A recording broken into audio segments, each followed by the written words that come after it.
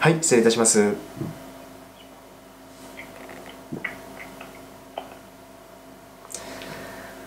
はいあー終わった。どうもショッピンです。今回も動画をご覧いただきありがとうございます。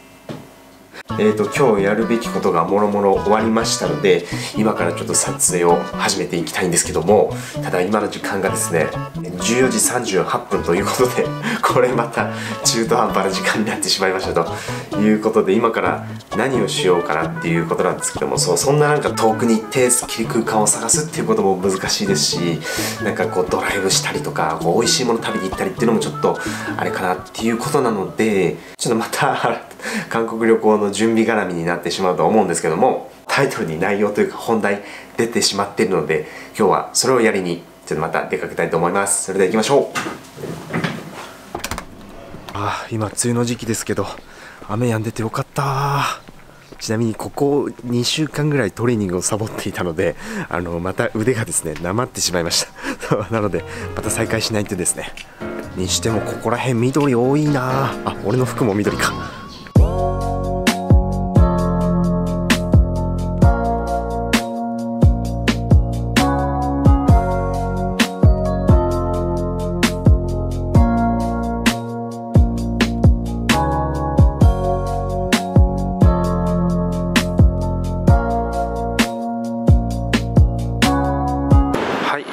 着きました。で今からここに行きます。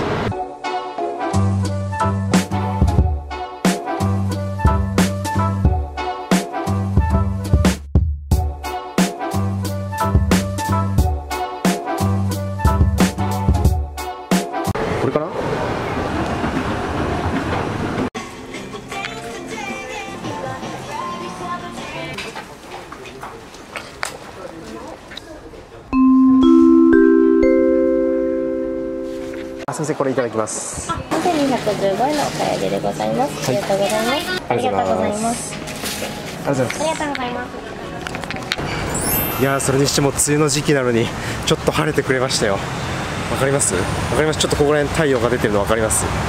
いやーよかった。晴れてくれて。運がいいわ。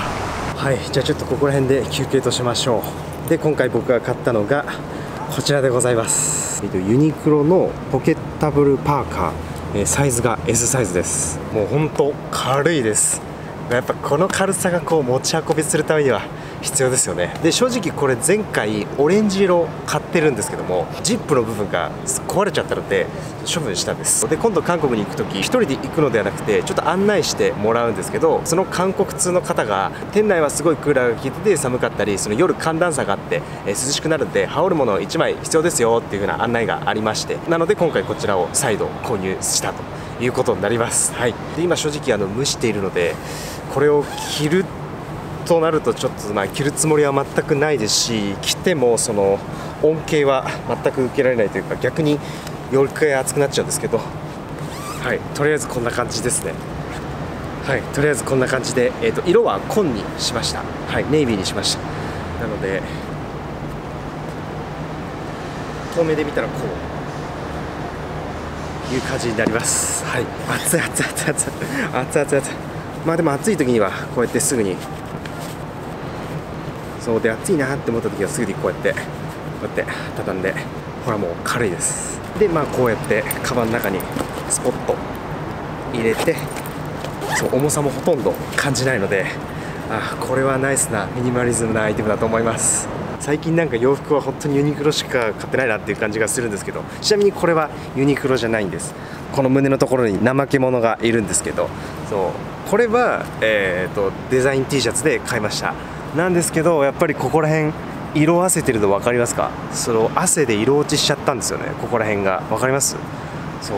汗で色落ちしちゃったりとか。なので僕はもうどんどんその洋服の新陳代謝は早いと思ってます。そう。なので安くて、まあ、素材もそこそこ良くてっていうユニクロになっちゃう気がします。もし無印でも全然安いですよって思う方がいたらぜひコメント欄で教えてください。